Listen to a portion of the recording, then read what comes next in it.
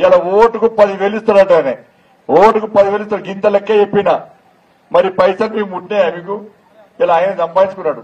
నేనన్నా ఈ పదివేలు పక్క అయ్యి తీసుకోరక పైసలు పక్క పదివేలు తీసుకోండి గ్యారంటీ తీసుకోండి. లెక్క పెట్టుకోండి. దొంగ నోటు ఇస్తారు మనం మిషన్ పెట్టి లెక్క పెట్టుకోవాలి. పదివేలు పక్క తీసుకోవాలి. ఓటు అమ్ముకోదు సెల్ ఫోన్ కూడా లక్ష సెల్ ఫోన్లు. ఇలా చెప్పిన తమ్ములకు చెల్లెలకు చెప్పిన సెల్ ఫోన్లు గ్యారంటీ తీసుకోరు. దాని మోడీ ఫోటో పెట్టుకోరు మంచిగా. అరే అరే పబ్లిక్ ఏం చేసావు? కేసీఆర్ వచ్చినాక నిన్న. కేసీఆర్ చేంజ్ చేయాలి? ఈ మండలానికి ఏం చేసినావు? ఈ గ్రామానికి ఏం చేసినావు? కరీంనగర్కి ఏం చేసినావో చెప్పాలి. ఊరే వచ్చి నన్ను పొట్టు పొట్టు నన్ను తిట్టిపెట్టాడు. నన్ను తిట్టడానికే మీటింగ్ పెట్టాడు. ఆ మీటింగ్ మంది వచ్చినాడు ఇంతమంది కూడా లేరమ్మా మా మీటింగ్? వచ్చిన అందరు కేసీఆర్ మాట్లాడింది ఇది అంటే బాయ్ బాయ్ చెప్పుకుంటే మీకు ఇది కేసీఆర్. నేను తిట్టడానికి వస్తా నేను వస్తా నన్ను తిట్టు. నీ ప్రగతి వాడికి వస్తా నన్ను కూర్చొని తిట్టు ఒకసారి నన్ను అన్నదక్క ఏ బండి సంజయ్ నీ సంగతి చెప్తా. నీ తలకే ఆరు ముక్కలు నడుతున్నాడు ఆయనకు లక్కీ నెంబర్ ఆరు. నీ తలకే ఆరు ముక్కలు నడుతా అని చెప్పన్నాడు. నేను అన్నా సార్ నా తలకే ఆరు కాదు నీకు డబ్బులు వేసుకో పన్నెండు ముక్కలు నరకు. నేను చచ్చిపోవడానికి సిద్ధంగా ఉన్నా. కానీ పేదలకు డబుల్ బెడ్రూమ్ నువ్వు ఇస్తా అంటే ఒక తలకే నరకు. ఒక పూట అయిపోతుంది ఆరింటల్లా పేదల పిల్లలకు ఉద్యోగాలు ఇస్తా రేపు నరుక్కుంటా.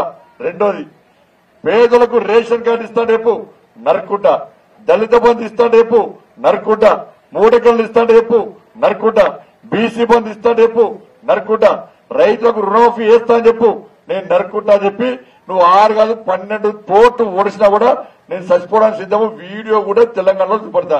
నువ్వు అవి ఇస్తావా అని చెప్పు అన్న. మళ్ళీ మన అన్ని మూసుకొని పాపం అన్నాడు. ఇప్పుడు ఇంకా లేవాడు సార్? లేవాడు ఇక. పాపం రాత్రి చాలా బిజీ ఉంటాడు సార్. రాత్రి అంతా తాగుతాడు. పొద్దుదానికి వాడు ఇప్పుడు లేస్తుండే ఎందుకంటే ఎన్నికలు కదా. ఎన్నికలు కదా ఇప్పుడు లేస్తాడు ఇప్పుడు. రాత్రి అంతా తర్వాత పొద్దున వాడికి. ఇప్పుడు ఆయనను ఇప్పుడు మన ఇక్కడ వర్షాలు వచ్చినాయి.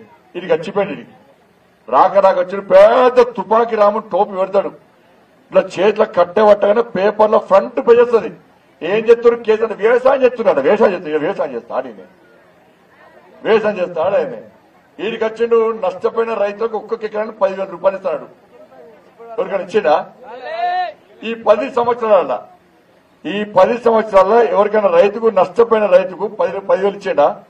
మరి కౌలు రైతులు ఏ పాపం చేసిర్రు వాళ్ళకు రూపాయి కాబట్టి మొత్తం ఎక్కడ పోయినా కూడా వీళ్ళు ఎందుకు గెలిపిస్తున్నా గంగుల కమలాకర్ నువ్వు పోయి కేసీఆర్ అడగాలి. నేను పోయి మోడీ గారిని అడిగినా. మోడీ గారు అడితేనే మీకు ఫ్రీ బియ్యం ఇచ్చిండు.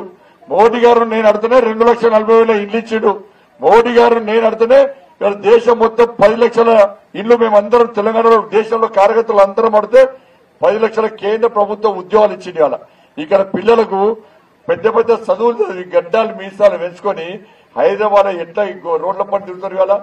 ఇలా ఉన్న నగలు కుదబెట్టి ఉన్న ఆస్తి అమ్మి నా కొడుకు గవర్నమెంట్ నౌకరిస్తే నేను చదువుకుంటానని చెప్పి ఒక నమ్మకంతో వాళ్ళని పెద్ద పెద్ద చదువులు జరిపిస్తే ఈ పది సంవత్సరాలు ఒక్కరికి ఒక్క ఉద్యోగం వేలే ఒక్కరికి ఒక ఉద్యోగం వేలే ఆయన ఇంట్లో మాత్రం ఐదుగురు ఉద్యోగులు. వాళ్ళ అయ్య ముఖ్యమంత్రి. అయ్య ముఖ్యమంత్రి కొడుకు మంత్రి ఇలా బిడ్డ ఎమ్మెల్సీ అల్లుడు మంత్రి ఇక రాత్రిపూట మందుల సోడా పోసే సంతోష్ రావు కూడా రాజ్యసభ ఇచ్చాడు. ఇక మనవనికి వయస్సు లేదు నెక్స్ట్ మనవరు రెడీ ఉన్నాడు ఆయన. మనవరు రెడీ ఉన్నాడు పిల్లాడు పెద్దోడు ఆయన కూడా ఖర్చు వేసి పెట్టాడు. ఇక ఉంటాడా ఈసారి? నాలుగో తారీఖు కేసీఆర్ అంటాడు కథం. అవుట్. రాసి పెట్టుకో.